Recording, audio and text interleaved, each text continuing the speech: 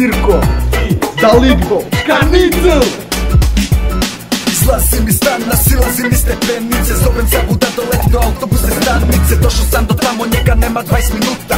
Jadan sam do tata, pekara je nova ruta. Odlazim do tamo, kupim to sa sirom.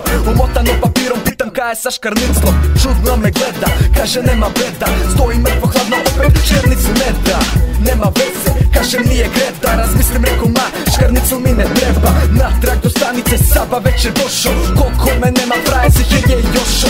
Ne, ja ne kasnim njega, nema pola čuke Možda me nije bilo, pa je otišao na burek. Zovem ga na mob i treći put se javlja Evo me dolazi,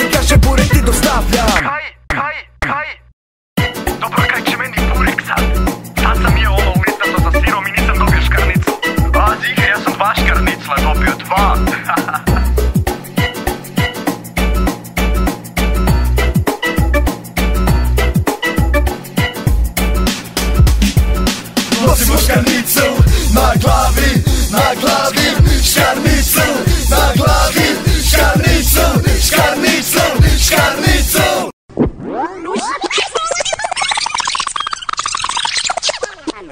Ne znam tempo u foteli sjedim doma. Sirko zove na stanicu dođi odmah. Iz kuće izlazi stari daj neke para. Fakat zagledam već me trži hrazara Nekaj obavim pa do pekare tranu Može jedan burek da upoznam pravu hranu. Šalu na stranu i ovako kasnim. Može obra dva da i sirka počasnim. Uzimam vrećicu teban izlazim. Kopam po njoj i škarnica tražim. Vraćam se unutra za škarnica insistiram Daj mi dva komada dok još uvijek sam miran. Sluške u ušima, malo se zabavljam. Sirko zove kažem, burek ti dostavljam. Dolazim do stanice, dva škarnica nosim. Sirko pita kako, ja mu odgovorim. E, a kak si ti daš karnicla, a ja ni ušu u pekaru i uzo ono.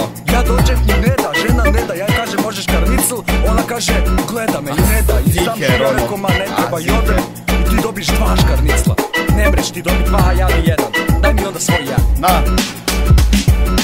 Nosim škarnicl na glavi, na glavi Škarnicl na glavi, škarnicl, škarnicl, škarnicl Nosim škarnicl